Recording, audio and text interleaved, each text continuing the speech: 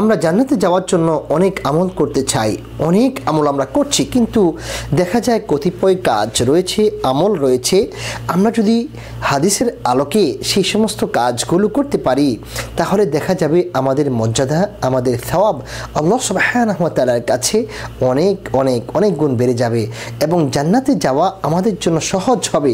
এগুলো হচ্ছে আমাদের জন্য কিছু ফ্যাসিলিটি আমাদের জন্য কিছু ডিসকাউন্ট যেই ডিসকাউন্টগুলো আল্লাহ সুবাহান তালা আমাদেরকে দিয়েছেন, আমাদের জন্য নির্ধারণ করেছেন। যদি আমরা সেগুলোকে খোঁজ করে করে আমরা করতে পারি, তাহলে আমাদের জন্য জান্নাতে যাওয়া খুব সহজ হয়ে যাবে।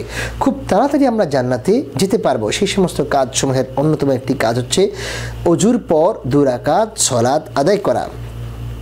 সহি মুসলিমের দুইশত চৌত্রিশ নম্বর হাদিস রসুল্লাহ সাল্লাহ আলিহি ওসাল্লাম বলেছেন মামিন আহাদিন এতাওয়াদ্দাউ ফাইহসিনুল অদু ফাইসল্লি রাকাতাইন ইল্লা ওয়াজাবাত লাহুল জান্না যে ব্যক্তি অজু করল এবং সুন্দর করে অজু করল এবং অজু করে ফাইসল্লি রকাতাইন এবং সে দুরাকাত সলাদ আদায় করবে ইল্লা ওয়াজাবাত লাহুল জান্না তাহলে অবশ্যই অবশ্যই তার জন্য জান্নাত অবধারিত হয়ে যাবে। তার জন্য জান্নাত ওয়াজিব হয়ে যাবে। যে ব্যক্তি অজু করল, অজু করার পর মাত্র দুরাকাত সলাদ সুন্দর করে আদায় করল। সহি বুখারির একশত ষাট নম্বর হাদিস রসুল্লাহ সাল্লাহ আলহি ওয়াসাল্লাম বলেছেন, মান তাওয়াদ্দা মিসলা নাহবা ওদু ই হাদা। যে ব্যক্তি আমার এই অজুর ন্যায় অজু করল, সুম্মা রকা আয়া রকা চেন। তারপর সে দুরাকাত সলাচ আদায় করল। লা সুফি ফীহিমা নেফসাহু। সে এর মধ্যখানে কোনো কথাবার্তা বলল না।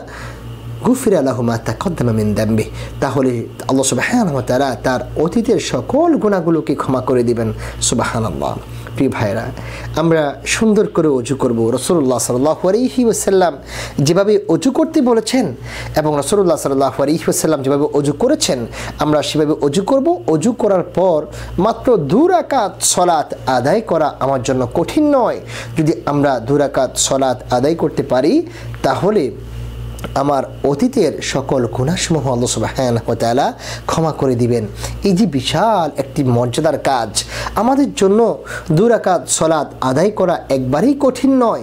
আমাদের জন্য দুরাকাত সলাদ আদায় করতে কত মিনিট সময় লাগবে? পাঁচ মিনিট সময় লাগবে। এই পাঁচ মিনিট যদি আমরা ব্যয় করে এই দুরাকাত সলাদ আদায় করতে পারি, তাহলে অবশ্যই অবশ্যই আল্লাহ সুবাহান তালা আমাদেরকে জান্নাতের জন্য কবুল করবেন।